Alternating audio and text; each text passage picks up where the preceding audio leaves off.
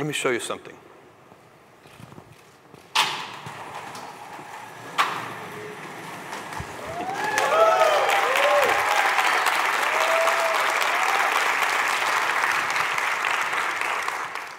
We've been working on this lander for three years. It's a very large lander. It'll soft land in precise way 3.6 metric tons onto the lunar surface. The stretch tank variant of it will uh, soft land 6.5 metric tons onto the lunar surface. Let me give you a little tour. The deck is designed to be a very simple interface so that a great variety of payloads can be placed onto the top deck and secured.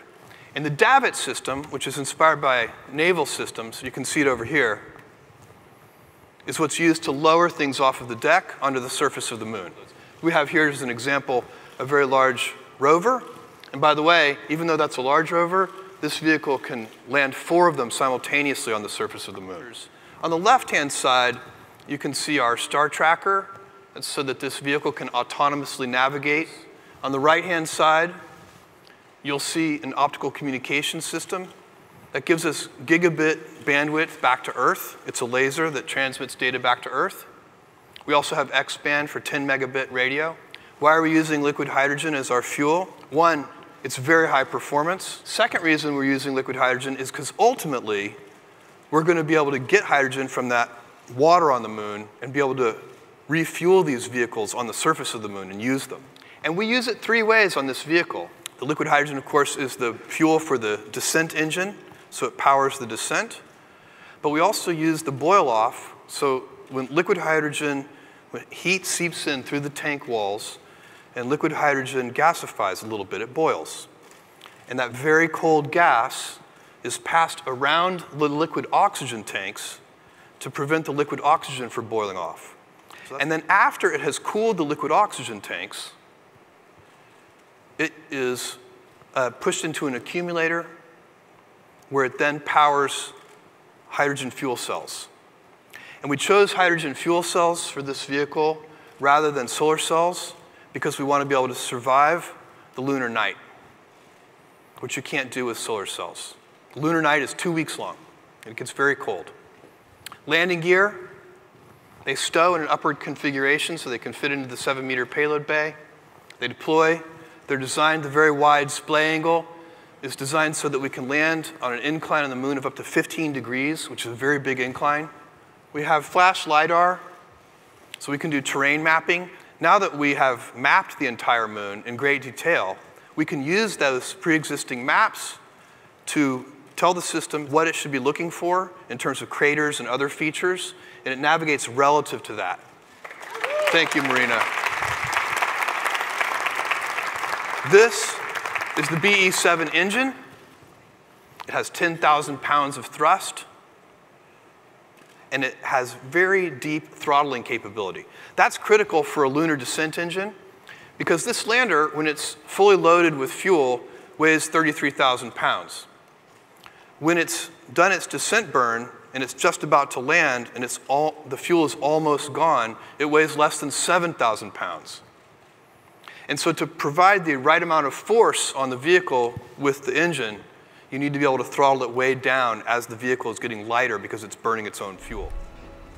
One thing is when this vehicle, there are payload bays here on the sides, and when this vehicle is in orbit around the moon, as a kind of extra mission, a bonus mission, it can launch small satellites into orbit around the moon so we can do certain kinds of science. You see it happening here.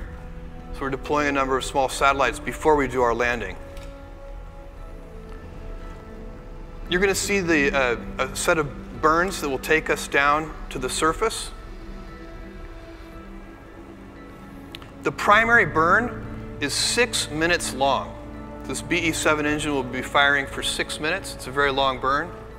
The, we verticalize about a kilometer above the surface.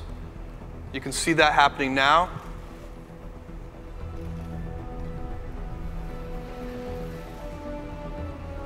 A very precise landing, again, using those flash LiDARs to detect uh, surface features and using those for navigation. Now we're going to watch as the Davit system, which is inspired by a naval system, deploys a rover.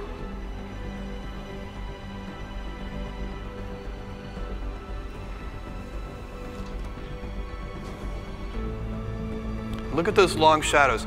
The shadows are always long on the poles of the moon.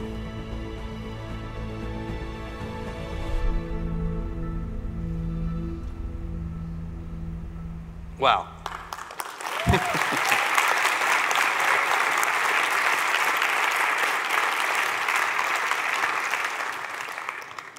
People are very excited about this capability to soft land their cargo, their rovers, their science experiments onto the surface of the moon in a precise way.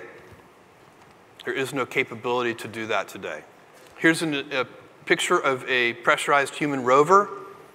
And it's really interesting when you can land precisely, you can configure missions that use multiple landings. This is the stretch tank version of Blue Moon, which can soft land 6.5 metric tons onto the lunar surface. And this has an ascent vehicle on top. When I first saw the drawings of this a long time ago, I was like, my images of landers are all formed by the Apollo lander. And it, I was sure that those landing pads were too small. And I asked about that. And the answer is these are not too small. The ones on the lunar Apollo lander are too big because we were very worried about how soft the lunar surface was. And it's just an example of how much more we know today. So these will work just fine, don't worry. It's time to go back to the moon, this time to stay.